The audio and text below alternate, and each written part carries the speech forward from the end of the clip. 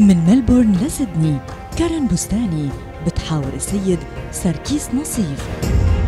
من أبرز رجال الأعمال بأستراليا. شخصية تميزت بالمجتمع الأسترالي. رئيس وصاحب شركة Holdmark Group للاستثمار والإنماء. ابتدأنا بمشروع 20 30 unit وفيني أقول لك إنه بال 30 سنه المضوا ما يوم وقفنا. يعني بتشتري وقت يكون في أزمة وبتبيع وقت يكون مزدهر. إزدهار. هذا ربحك. مشروع أكبر من مشروع لحتى الهو. وصلنا where we are وين نحن هلا؟ أسماء من التاريخ. اللبناني الله عطيه ميزه مش عطيها لحدا على وجه الأرض. الأربعاء تسعة ونص المساء على البي 2